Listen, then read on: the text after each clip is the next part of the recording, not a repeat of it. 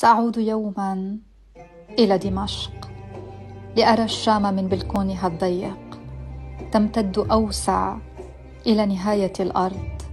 حماماتها تتجول بحرية من جديد فضائها الأزرق صوت الآذان بالقرب وجرس الكنيسة تحت. سأعود يوما إلى دمشق لأجلس هناك على كنباتها المنهكة. وأنتظر قهوتها التي تعدها هي بالذات ببطء وتؤدى بخطوتها الوئيدة وابتسامة الخجل ومسارعتها أن تحضر لي أشياء لطالما خبأتها لي كطفل مدلل.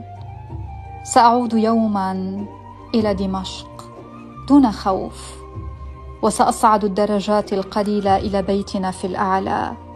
سأرى ذات الشجرات التي تلوح لي من بيوت الجيران وعلى الأرصفة وأشم نفس الرائحة وسأسأل مرة أخرى عمتي مزين عن اسم الشجرة التي تتسلق بلا رحمة.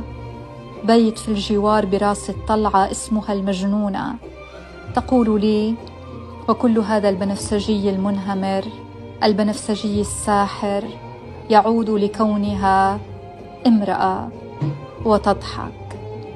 سأعود إلى دمشق وغالبا سأراقب منخل النافذة حيث اخترقت رصاصة الحرب ذات يوم هناك وتركت اثرا لا يغتفر.